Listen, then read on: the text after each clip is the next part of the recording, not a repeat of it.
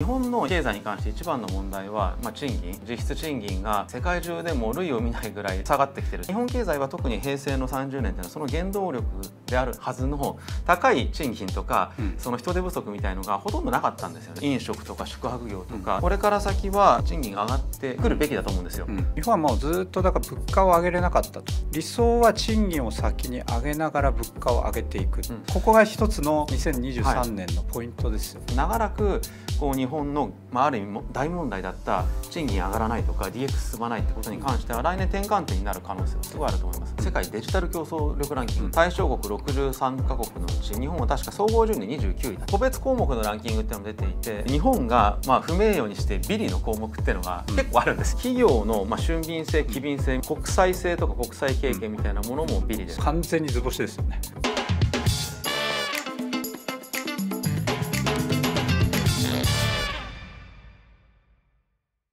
皆さんこんにちは。今文明に問う始まります。今回は特別編です。2023年大展望と題して大阪大学教授の安田洋介さんとともにですねあの今年の世界経済の行方を探っていきたいと思います。安田さん、はい、よろしくお願いします。よろしくお願いします、えー、そして教授承認、えー、おめでとうございます。ありがとうございます。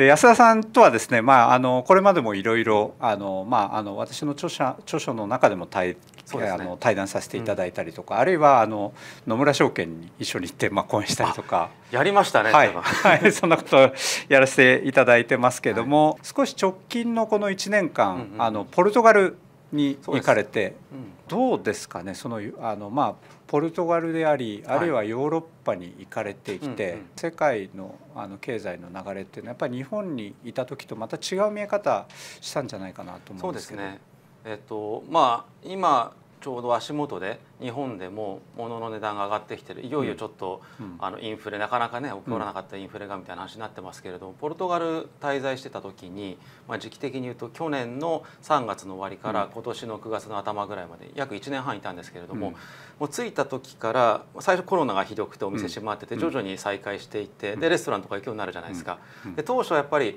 需要が少なかったので、うん、まああの日本から行っても、まあ、これぐらいの値段かなっていう感じのものがどんどんどんどんお客さんが戻ってきて、うん、で行くたびにちょっとなんか値札が変わってるみたいな、うん、本当に何十年前の日本だっていう感じでやっぱり物価が上がってるなっていうのは本当実感したんですね。なるほど。あの街のレストランもそうですしマクドナルドみたいなチェーン店でも本当に数か月ごとに値段が上がってってると。あこういう世界なんだっていうのは実感しました。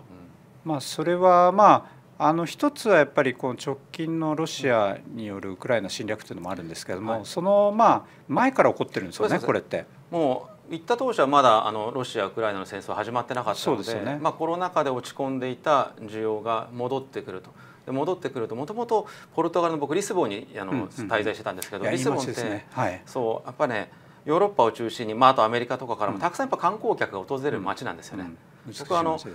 リスボンは出張とかで数回しか行ったことなかったんですけどそれまで。あの一旦こう暮らしてみるといろんなこうヨーロッパ中から人が太陽と、まあなんかそのんびりした時間を求めてやってくる、まあ、日本でいうとちょっと沖縄っぽいようなところで確かに。で特にワーケーションとか進んでるんですよね、うん、カフェで仕事できるとか本当若いノマド系の人たちが集まってきていてでそういう人たちが戻ってくるとやっぱりもう立ちどころに値段も上がるしあとはやっぱり人雇うのも大変になってくるので人件費も上がる。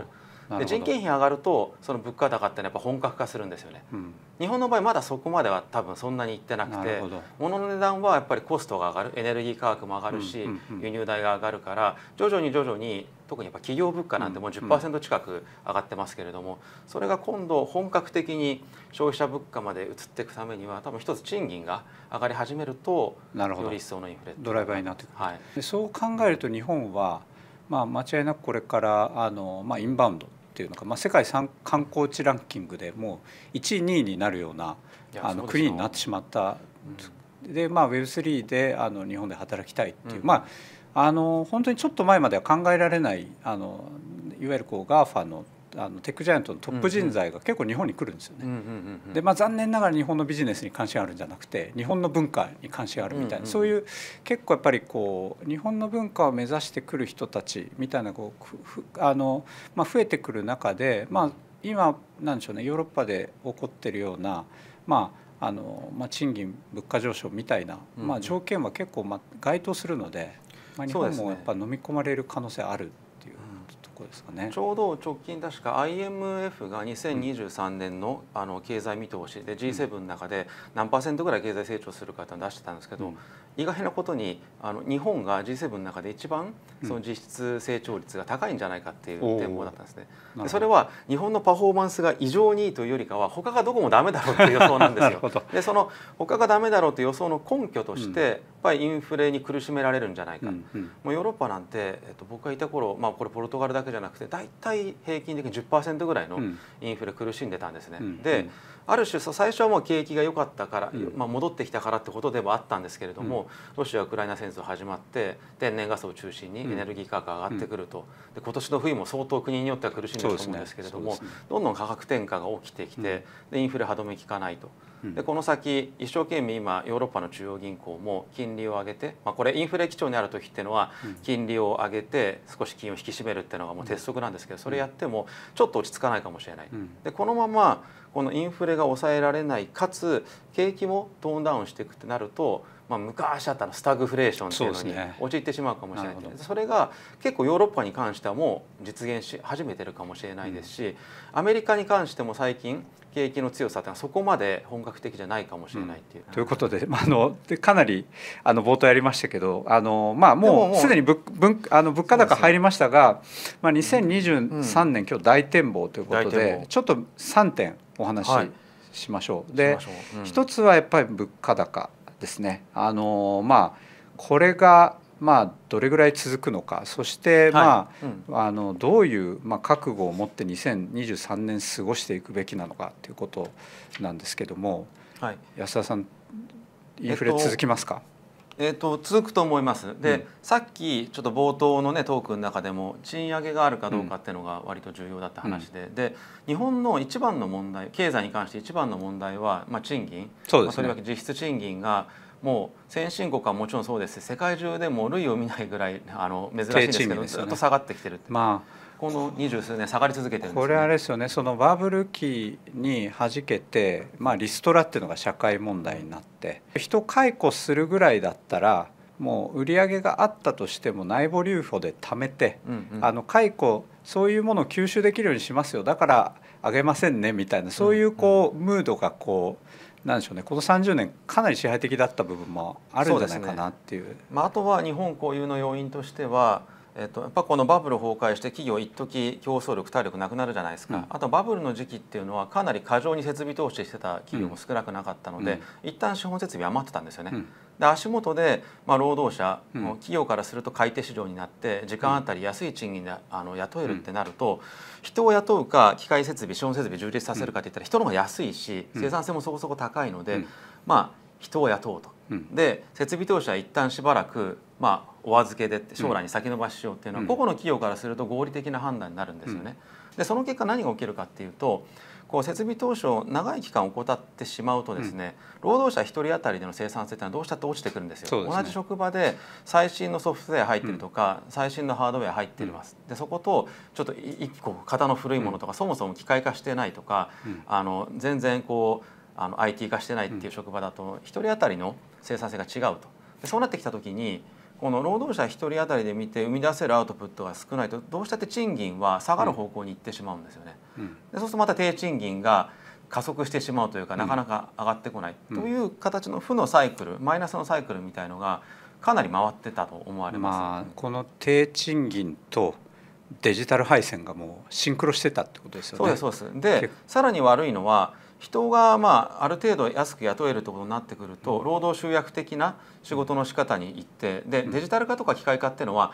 本来人件費があのかかるとか、人手不足で雇えないって時に機械化一気に進むんですよね、やっぱ経済的なインセンティブも強いので、余談ですけれども産業革命最初に起きたのはイギリスですよね。でなぜイギリスで産業革命起きたかっていろんな仮説があるんだけど一個、まあ、これは間違いなく聞いていただろうという要因は当時のイギリスの賃金が、大陸大陸ヨーロッパと比べて大体2倍ぐらいだったらしいんですよ。人件費高いと。うん、でなってくると、まあ、ビジネスやって稼ぐためには、うん、効率化しない効率化しなきゃいけない、うん、まあ、もちろんたまたまその時に使いやすい石炭がイギリスの場合は海運で運んできやすいとかで科学技術の革命も起きたとかっていろんな要因はあるんですけれども最初やっぱ経済的なインセンティブがそういう投資をするとか新しい技術革新を起こす上での大きい、まあ、原動力になるんですよね。うんで日本経済は特に平成の30年というのはその原動力であるはずの高いまあ賃金とか、その人手不足みたいのがほとんどなかったんですよね。そうですね。そうですね。でそれの観点から言うと足元で例えばですけれども、えっと、飲食とか宿泊業とか、うん、今人手不足で苦しんでます、うん、で賃金も上がってきてるんですけど、うん、まだ行っても安いんですよ。もともと飲食業とかホテルとかってものすごい、あの時間かりかなりなので、ね、これから先はそういった職場で上が賃金が上がってくるべくるべきだと思うんですよ。でかつより重要なのは今までじゃなんでそういった人不足に陥りがちなこの業種で賃金が上がらなかったかっていうと賃金上げても肝心の売っている商品とかサービスなかなか値上げできないっていう、うん、まあ、価格転嫁難しいっていう要因があったと思うんですよ。うん、それがこの数か月日本においてもやっとこう動き始めたインフレみたいなものを通じて、うん、こう儲かっているお店とかこう流行っている商品とかの値上げがしやすくなってるんですよね。そうですねそうすると売れるお店とか、まあ、需要が高まっている、まあ、業種みたいなところは多分価格も上がっていくしそれに連動して賃金も上がっていくと。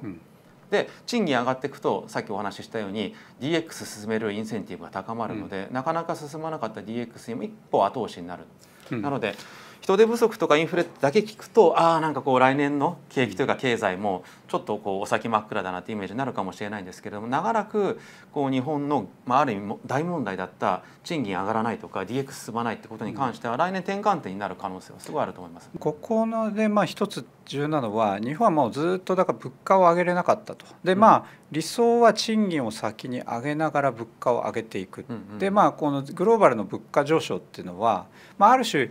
あの場合によってはチャンスと見る向きもあるんですが、はい、そんなに都合よくコントロールできるんだろうかっていう、まあ、ここがここが一つのまあ、2023年のポイントですよね、はい、それは大きなリスク要因かもしれなくて、うん、ヨーロッパにしてもアメリカにしても、まあ、実際今足元でものすごいインフレ率上がってきてるので、金融引き締めるために金利上げてるじゃないですか、うん、で日本も仮に今宮田さんがちょっと懸念されたように来年以降インフレ歯止めがちょっと効かなくなってきた時にやれる作戦としては、こうまあ、金利を上げて引き締めをするっていうのは一応オーソドックスな手法なんですよ。ただ日本固有の事情としてはやっぱ累積のその国債発行額がもう莫大な量になってるので金利を上げた時に今もうすでに発行している国債についてはとりあえずまあいいんですけれども借り換えをしていくわけですよね。新規国債発行する時に例えば金利が、えっと、今だったらほぼ0%で、えっと、この国債調達できてたものが23%になりますと。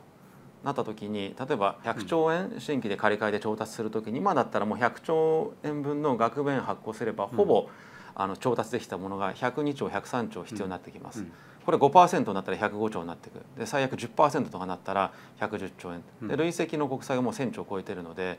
そのレベルで金利が上がっていくと毎年の利払いだけでも結構大変な金額になるんですよね、うん。うん、それでも問題はないんじゃないかっておっしゃる方もいるんですけれども多くのやっぱエコノミストはそこまで急激に金利を上げるとちょっとまずいんじゃないかっていう、うん、なのでその辺のバランスですよね。よその国で当たり前のようにできる引き締め政策が今まで緩和を続けてきたことによってちょっと取りにくくなってると。そうですねだからこそ、まあ、節度あるインフレでさっき言った賃上げであるとか、うん、DX の進展とかっていうのが進むぐらいで落ち着いて金利はあんま上がりませんみたいな状況がベストでそこに行ってくれるかどうかっていうのはちょっと蓋を開けてみないと分かんない。そうですね。でこの、まあまあ、賃上げもなかなかやっぱりこうなんでしょうね、まあ、あの鶏か卵かみたいなところで、うん、まあ、今あのお話があったように、まあ、インバウンドっていうのは確実に、あのもうこの5年ぐらいであのいわゆる自動車を超えるような産業規模になるんだろうという予測はあるんですけど、まあ、そういうような伸びていく分野でこの賃上げをしていくっていうのは、まあ、あのもちろん十分あの可能かもしれないですけどそれ以外の分野ですよね。停滞が続いているようなあの業種。でも内部留保はあるはずだっていうところ。そう,、いうあの分野あるいは企業であの賃上げをこう実現できるのかどうかってそうですね、えっとまあ、結論から言うと労働市場ってある意味つながってるので、うん、特定の産業で賃金上がってくると、うん、そうすると今賃金の低い産業にとどまってる人が、そっちで働こうって移っていっちゃうんですよね。なるほど。なので人手不足がまあ、発生するっていうのは別に避けられないんですよね。でそうなってきた時にこのなかなか成長できていない、まあ、ちょっと言い方ですけど停滞産業の中でも中身を見てみるとパフォーマンスが相対的にいい企業とそうじゃない企業がいるじゃないですか。で何が起こるかっていうとそういった相対的にパフォーマンスの悪い企業からは人も抜けていくし、どんだけ内部留保あってもまあ利潤が上がらなければ、長い目で見ると淘汰されていく。で代わりに相対的にパフォーマンスのいい企業に人やお金が移っていくんだと思うんですよね。でそれは今このパフォーマンスが悪い企業にたまたま勤めているとか、うん、悪い企業のステークホルダーの人から見ると残念なんですけれどもやっぱ日本全体で見ると相対的によりこの、うん、あまあ価値の高い企業だったり産業に人が流れてお金が流れていくことによって、まあ、当然ですよね。平均的なやっぱ生産性を上げる。うん。でやっぱこれ平均的なね生産性上げていかないとどんどんまだまだ高齢化進んできますし、まあそのとですね、えー、今日はあんま相乗に上げるつもりないですけどやっぱり医療費介護費とか考えていくと、うん、何らかの形で国全体の、ね、持続可能性はないです、ね、一言で言えば、まあ、そういう意味ではまあなんでしょうね。ここから賃金を上げるっていうイシューが非常にまあ2023年クリティカルじゃないですか。はいでまあその時に俺の周りは上がってないぞみたいな人が出てくるかもしれないですけど、うんうん、こういうなんていうか賃金上げっていうのはある種トレンドなわけですよねつながる市場の中で。で、ねうん、まあだから全体がこう上がっていくっていうようなシナリオではなくてむしろまあロロジャースの普及曲線というまあ古典的な理論はありますが最初にこうやっぱりこうイノベーターアリアダプターみたいな、まあ、今回で言えばやっぱりこうあのインバウンドだったりあるいは成長産業とかっていう恩恵の中で上がっていくところがぐっと一部の業種が上げて全体のレートを変えていってであとはまあ付随したあの停滞していてもその勢いがいいところがよりいい人材みたいな形で流れを作れればまあ変わっていくのでそれをウォッチするマスメディアも気をつけなくちゃいけないと思うんですけど全体で上がってるかどうかよりそういう流れを作る上がり方をしてるかどうかっていうことをまあ我々ウォッチしたりでそれをこう後押しできるかの方がもしかしたら2023年重要かもしれないです、ね、これはもう賃金に限らずみんな横一線で平等に上げようっていうことを意識しすぎると 誰も最初の賃上げができないみたいな、できないですね。なので、まあ、同時じゃなくてもいいんですよ、うん、ポコポコポコポコ上がってきて、うん、他が上がったところを真似するみたいな感じでもいいので、うん、何らかのやっぱり動きが一方向に続いていくと全体の経済がガラッと変わっていくかなっていう感じがします、なるほど。ありがとうございます。いえいえでそうなった時も実は2番目の話題もの頭出しもされてたんですけども、ねはい、やっぱり日本のこれからまあ2023年で、うんうん、あるいはそれ以降あのどういう分野が伸びていくのかっていうその話ですよね、まさにこの賃上げっていうものをこう牽引して、えー、そしてこの未来を作っていく。やっぱりそういうこう全体で上がるかどうか以上にやっぱりそういうこう分野だったりあるいは企業っていうものをあの我々見ていく必要があると思うんですけど、ね、まあ、そのやっぱり一つがインバウンドインバウンドでですしあとはどういった要素に日本企業日本経済気をつけていくべきかっていう点に関して言うと最近よく紹介することが多いんですけど毎年あのスイスのビジネススクールの IMD というところが世界デジタル競争力ランキングっていうのを出していて。で2022年直近のランキングでいうと対象国63か国のうち日本は確か総合順位で29位だったんですね、うんうん、で残念ながら毎年ちょっとずつ順位下がって下がってますね、はい、去年は確か28位で、はい、まあ、ずじりじり下がってきてるんですけど、はい、私もよくそのランキングを あの引用してデジタル敗戦だってこの何年か言ってきてるのでまあ、非常に重要なランキングですね。でその中でも個別項目のランキングっていうのも出ていて、で今年に関しては対象国63か国なんですけど、うん、63か国、まあ、主に先進国です、うん、その中で日本がまあ不名誉にしてビリの項目っていうのが結構あるんですよ、いつも。でどんな項目だったかっていうとあの企業のまあ俊敏性機敏性みたいなビリです、最下位。で意思決定が遅いってことですね。まあもう完全に図星ですよね、はい、あとは国際性とか国際経験みたいなものもビリです、そうですね。今スポーツとかでもですねやっぱり、はい、あの英語がやっぱ難しいっていうのはあるんですけど、これ言語形態で日本って英語に対して一番遠い。らしいんですよ。いわゆる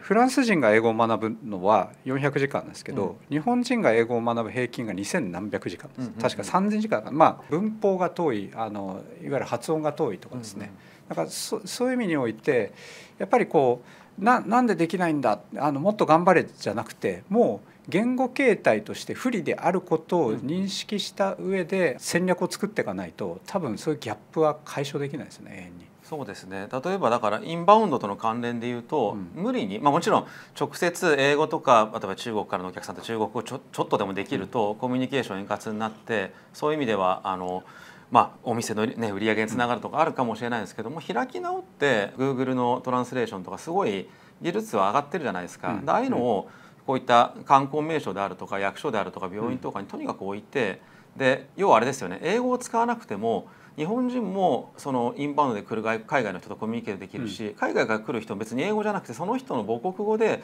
コミュニケーションできる、うん、日本に行ったら別に英語喋る必要ないと、うん、真の意味で言葉の壁がなくてフラットに観光を楽しめるみたいにした方がなんか英語を話せる人だけが楽しめる異国での観光とはちょっと違ったものが提供できるかもしれないですね。そうですね。なんか、いやあのおっしゃる通りでやっぱりこう海外のあのインバウンド施策と何が一番違うかっていうと、あの言語的にやっぱりあの遠いんですよね、うんうん、習得時間が。中国語とかの方がままだ英語に、まあ、文法的に近いじゃないですか。で日本はもう発音も文法もあのあらゆるものが遠くていわゆるなんで英語を喋れないんだってまあいろいろまあもちろん英語は喋る人がいないからさらにあの遅いっていうのもあるんですけどそれ以上にやっぱ遠いんですよね。習得時間が数倍あの他の国よりもかかるでじゃあそれを埋めて人材を作るのかっていうその施策で失敗し続けてるっていうこう前提に立った上で、あのテクノロジーをどう使うかっていうあるいは英語を話せるじゃあ人材をどう効果的に配置していくかとか、その多分あのまああの翻訳こんにゃくで あの立ち行かない局面っていうのもあるので、ね。うん、多分その英語人材の育て方だけじゃなくて、えまあ、いわゆるこう多言語観光に、まあ、今度それでいいのは英語一本足打法じゃない観光はできるわけですよね。できますし、はい、あとはなんかもう観光を超えて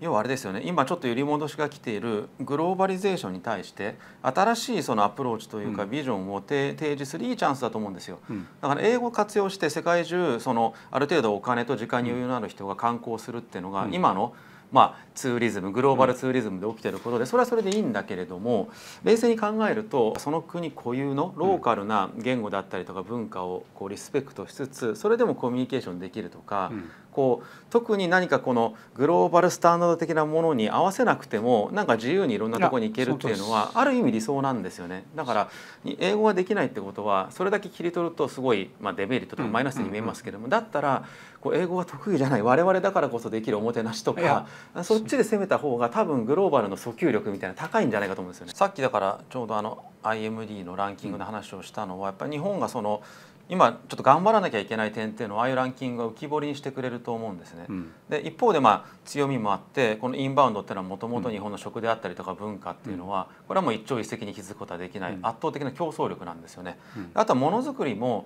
ぱり日本のメーカーかつてほど元気ないかもしれないんですけどやっぱ圧倒的なアドバンテージがあったしこれからもそこはある程度残り続けると思うんですけど問題はそういったこう強い分野にこうどういった形でそのさっき述べたようなまあ課題ポイントが残ってるものを解消してだからいいところをくっつけていくか。で苦手な部分を克服していくか。でそれでいうと例えばあの DX 今日すでにキーワードとして上がってますけれども進まない要因っていうのはさっきのランキングでもやっぱ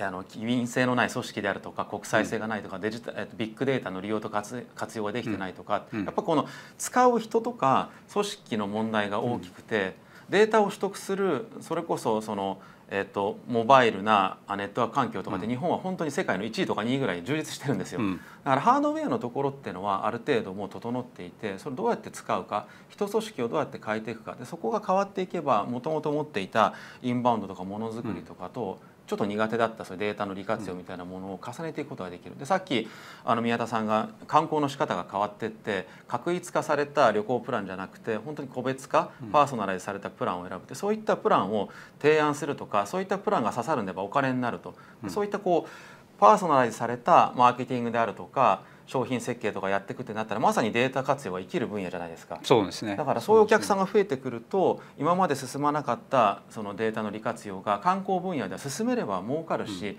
うん、ももっと日本の魅力を伝えられるかもしれない、うん、でうまくいった企業がやっぱシェアを増やしていくとかそのよりこう日本に対する観光需要を底上げしてくれるってこの辺の好循環みたいなものも、まあ、来年インバウンド多分戻ってくるんで、うん、ますますやっぱ期待できるポイントじゃないかと思いますね。そうですねやっぱこの辺りにやっぱりデジタルの、まあ、本質をしっかりこう結びつけた、まあ、ものづくりとかプロフェッショナリズムをどう作れるかですよね。そうですねでものづくり企業でもやっぱりこうデータ系の IT 系の企業に勤めてる人から見るとものすごい魅力的なデータを取ってる。けどそれをあまり考えずに物売り型でデータひとまとめにしてポンって売っちゃうとか、要は活用して新しいサービスにつなげれば利益上がる上がるんじゃないかっていう、まあ、ある意味宝の山みたいのがあってもそれを活用できないありがとうございます。そしてじゃあまだ3つそう3つ言わなきゃ2023年の大展望として3つ、はい、リスキリングですね。だからリスキリングはまさにやっぱりこれあの日本があの就職してからとにかく学ばないと、うんうん、まああのそれはあの本当にまあ我々大学人ですけどあの自戒を込めて言えば大学のせいでもあるあるいはまあ受験戦争ですかね、うん、もうとにかくそこでもう学ぶことイコール苦痛みたいなトラウマがあって大学ではもうほぼ学ばないでこうネットワーキングだけしてるみたいなそういうような中で。じゃあ大学出たらもう就職しました。学ばない。まあでも実際違っ違ってて、学ぶっていうことは本来楽しいことだしで特にこのあの変化の大きな局面においては学び続けないとそもそもあの社会との接点もあのうまく作っていけないんですよね。まあまあ、そういった背景の中でリスキリングっていうのがまあ大きくクローズアップされてきてるところなんですけど、ね、なんか今宮田さんもおっしゃった大学側の責任でもあるっていうのは、まあ、受験の問題もあるかもしれないしもう一個はやっぱり教える時に世の中とか特にやっぱり実務ビジネスとどういうふうに皆さんが勉強していることが関連しているかっていうのをほとんど教えていない先生とか分野が多いと思うんですよ。でもまあ、多くのやっぱ社会人の方が一旦ビジネスをやるとか一旦あのポリシーメーカー等になってでまた大学大学院に戻ってきて勉強する時に実は自分のやってた仕事とこれから学ぼうとしてる内容がこんなにつながってるのかと逆につながってるからこそ大学に戻って勉強したい。うん、でもともと就職前に最初にその若い頃大学にいた時は面白さ全然分かんなかったんだけど仕事した後で重要性に気づいたとか面白さには気づいたっていう声をすごい聞くんですよ。うんそれは逆に言うと彼らが本当にもう二十歳そこそこの時に大学で勉強してた、うん、まあ、その時点ではこういった世の中とのつながりとか魅力を多分我々が伝え あの教員が伝えきれていないっていう面はまずあると思うんですよね。その通りですね。うん、その通りです。で、そのそういう意味でまあ私は今これから新しい大学を飛騨に作り、まあ、飛騨ってあのコア U っていう、まあ、 Co-Innovation University っていう名前なんですけどもそれは別に飛騨だけでやるんじゃなくて、あのまああのそれ今京都だったりとか他のいろいろなですね富山とかの拠点と話してるんですがいろいろな地域、まあ、さっきの2番目にもつながってくるんですが地域のこの多様な魅力をつなげながらあの実際のこのまあ、ビジネスだったりあるいはまあ行政との連携でもいいんですがそういうこうプロジェクトの中で共に学ぶっていう、それをやっぱりやんなきゃいけないなと。でやっぱりあのまあこれもう何回も自戒を込めるんですけどやっぱり大学では座学に寄りすぎてたんですよね。ケーススタデも座座学で実践を見るみたいな形で何に使うかよく分かんないけどとにかく筋トレしますみたいな、でもやっぱりサッカーをするのかあのマラソンをするのかあるいはあの何でしょうフィギュアスケートをするのか必要なこう、なんていうか体と違ってくるので、はい、やっぱ実践をやる中であるあのやっぱこう座学をこう、まあ、このババランスの中でやっぱり、ま、学んでいくっていうスタイルも必要なのかもしれないなっていうところですね。それこそ最近いろんな大学でデータ分析の新しいプログラムであったりとか学科とかできてますけれども、座学としてのデータ分析だと統計学であったりとか、あるいはあのプログラミング言語をいくつか学んで、で演習問題解いてみたいのは、まあ、どこのプログラムでも用意してると思うんですけどもそれだけだとやっぱり実社会とのつながりがまあ見えてこない。例えば地方の大学だったら実際に学んだツールを活用するために地元のお店に行ってちょっと生のデータ見せてもらってとか学生がレポート、ね、作る時に少しコラボさせてもらってみたいなのができるとあ自分たちのデータ分析ツールを使ってどこどこ商店の売上予測ができたとか、効果的なマーケティングについてちょっと提案できるかもしれないとかそういうことを経験するとがぜなんかこの学んできたことがこの先社会に出てて役に立つんだなっていうなんかもう実感につながると思いますけどね。いやおっしゃるとです。今向き合っているまあ経済の問題だったりあるいはあのまあ、インバウンドはじめとして、はい、まあ、日本のこれまでのものづくりとか企業がデジタルと結びついてどうより良いものを作っていけるか、うん、あるいは、まあ、あのビジネスとしてのまあ勝率を上げるかっていった時に、ねうん、やっぱりこうデータを使う。あのそして経済学的な視点の中で、あのまあ、いわゆるこう正しくものを見るっていう、まあ、ここれはあのこれからまあまあエビデンスベースとビジネスになるのかわからないですけど、ここれやっぱりあのすごく重要なスキルになっていくだろうそうですね。もう日本のみならず世界的な潮流としてそれは始まっていると思います。あとは、うん、あの今ね宮田さん正しくっておっしゃいましたけど、まあ、ぶっちゃけ正しいかどうか僕はちょっと分かんないところもあるんですけど ただ組織の中で特に日本の場合は新しい例えばサービスをやりますとか新しい事業展開をしますって時に従業員に腹落ちさせるためにですね、うん、今まではこの、えーと、シニア社員の経験と勘とかで決めてたのかもしれないですけど、うん、そこにデータだったりとか学知を使うとやっぱ腹落ち感が違うみたいなんですね。そうですね。間違ってるあ結果的に間違ってるかもしれないんだけれどもこの科学的な論文に基づいたアイデアを使ってみようじゃないかとかノーベル賞を受賞している業績をちょっと拝借しようじゃないかっていうととりあえずやることに関してそんなに抵抗感がないっていう、ね、特に若い人はそういう傾向が強いように感じますね。でそれを、まあ、あの使った時もう一ついいのが、ま